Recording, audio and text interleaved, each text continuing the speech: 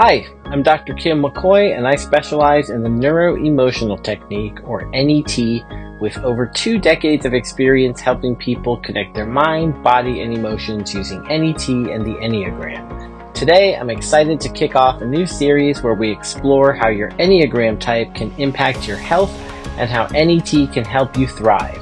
Whether you're familiar with the Enneagram or just starting to explore it, this series will provide practical insights into the unique health challenges associated with each type and offer actionable solutions tailored just for you.